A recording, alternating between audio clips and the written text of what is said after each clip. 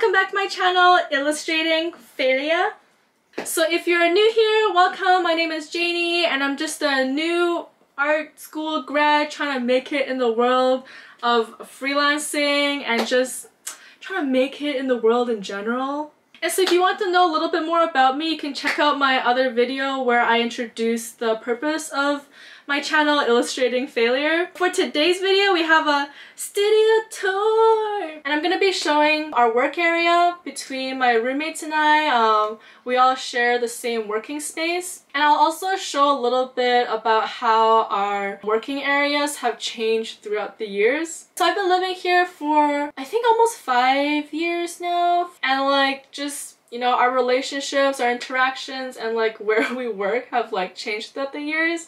I don't have any footage from before, um, just because I didn't, I don't, I didn't do video stuff before, but I do have some pictures and I'll show you guys that as well. So yeah, stay tuned and let's get started on the tour. So this is my room. I used to work in here a lot, but nowadays I just work in the closet room. In the past, it used to look very much different from this. I actually used to have a double bed and that kind of made it very cramped for any sort of working. When COVID hit and we were all stuck working at home, I did like a major revamp of the space and so that it became like much uh, nicer to work in. And then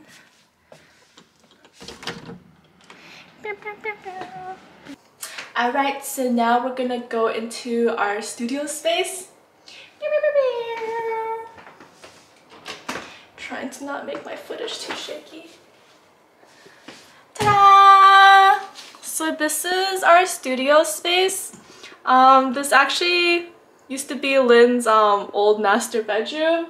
But then after COVID, uh, the pandemic and, you know, quarantine hit, um, we really like changed around the whole structure of our living and working space. And then she was generous enough to convert her um, master bedroom into a studio space and she moved into like a different room in the house. And so the three of us have been working in this room for like several months now. This is Lynn's space. It's a very beautiful and artistic. You can, this is a sneak peek into her process. Put that in your noggin. This is some of Lynn's art. It's very beautiful. You should, you should buy it because it's, this is limited edition, man. She doesn't, doesn't make these ones every day no more. Look, it's a texture. She's got all her friends' art up. It's very beautiful and then her books. And then this is Charlotte's workspace. Um, it actually used to look different but Charlotte's moving out. Actually I think it's today. Charlotte's moving out today when I post this video. Uh, we'll all be very sad that she's leaving but you know good times don't always last. That's why you gotta cherish every moment with the people you have and then this is Taro's little bed and you know sometimes it's messy, sometimes we clean it up for him and his treasure trove of toys. And then these are our plants. Um, they will also be less soon because you know some of them are Charlotte's. and this is a painting that the canvas used to be for a project um, that Lynn had in mind, but then it didn't really pan out and it was just empty for like, let's say over a year. And then when Charlotte first moved in, um, we started like working on it for a bit, but then we like didn't touch it for like many months afterwards. And then recently like we decided to start it up again and I was gonna help more, but I've just been so busy that I haven't been able to contribute much. I put in the outline of the dog, but this is like 99% Charlotte. She's so great. Look at look at how beautiful this is. This is still a work in progress. I'm gonna post some of that vlog later maybe. And then into my room. Ta-da! Many ta-das. So this is my office space. Um, this used to be like Lynn's walk-in closet. Again, very generous of her to um, donate it to our house.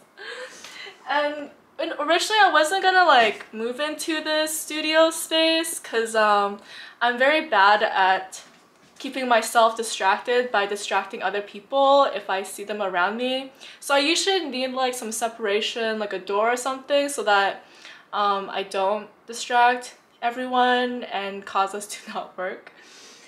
And so I think it was like Charlotte who was like, oh, well, there's this closet right here. Why don't you just move into the closet? And I was like, I don't know. And so in the beginning, I just like had a few things in there. But then I realized that the separation is actually um, really helpful in like focusing and keeping like my work and like my leisure separate. So then I just completely moved into this little room. And it's like a huge closet space. and so you guys have seen it in my videos already, just like the backdrop. These pieces are actually from like a gallery piece that uh, we did at school with Tessar and it was this like huge piece I made like all these um, little elements for and I kind of hoarded it after um, the gallery showing was finished.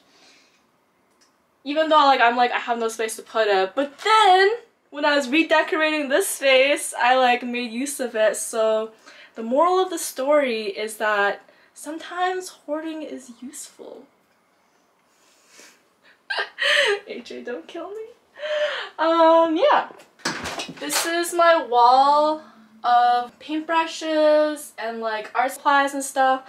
I use a lot of different medias in my art and then it was kind of like getting out of hand um, my lack of organization for all my stuff and so I got this like shoe organizer rack and I just put like yogurt containers inside um, to hold my stuff and it's it's really useful to see like what you actually have in your arsenal to use. A lot of these prints and like decor and stuff is Lynn's decor that was already in her closet that I kind of now just am still using. I keep some of my books on this shelf. This is also Lynn's shelf. I actually don't have that much furniture that's mine. Um, Lynn has some good good furniture around so that I didn't really need to um, purchase too much furniture when I moved in. This table here this handy drafting table. Um, this is actually my other roommate Peter's table that he left behind. And so I snagged that table and it's been very useful in this little room. And it's a drafting table, but yeah, I put my computer on it so I can't exactly draft on it anymore, but whatever. I don't really do too much drawing now anyways these days. It's mostly like on my computer. And this is my scanner. I actually used Lynn's scanner for like the longest time. And then, yeah, I decided it was time to get my own scanner because I do use it a lot. And this is like a great scanner. You know, it was like decently priced and also like, you know, it's a good, it's a good size. this is like a arm massager that my mom bought me. And this is my box of snacks. I have my gum, I have some Indian snacks, and I have some chocolate and some pork rinds, you know, for the snacky days and when I'm hungry. And like, oh my god, this is my Tiger Balm. It saves my life. I love my Tiger Balm. Feels so good on those sore muscles, man. And then this is my computer setup. Um, this is my ergonomic mouse um, my keyboard, and I have an ergonomic keyboard too. I also have this like arm support thing. Um, I think it helps in like keep giving my arm support um, when I need it. Because sometimes when I'm typing and stuff, if I'm like levitating my arm, it could be really straining. And that's Lynn's garbage can. That's a little fan I use in the summertime when it gets like really hot in this room. Um, I think that used to be Peter's too. And then there's my Wacom tablet. Oh, and there's my ergonomic keyboard. The ergonomic stuff, I um really I didn't have any of this stuff before pandemic hit, but then like after when I was having a lot of like wrist and arm pain and stuff, I'm like I need to invest in these things because I need to invest in my well-being because if it hurts to work then nothing matters so it's an investment and these are some of my plants as you guys have seen before and like here are some plant babies oh and that's like a hat that I keep in here because at a certain time of the day like this like the sun would come through the window and just blind me so I need it and these are my cushions for this like um, kitchen chair that I sit on. Uh, this cushion has actually like been really good for my butt. And then this like other cushion adds extra support. And I'm like at this point I should have probably just purchased like a desk chair but it's still cheaper than buying a nice chair so I'm pretty happy with that setup.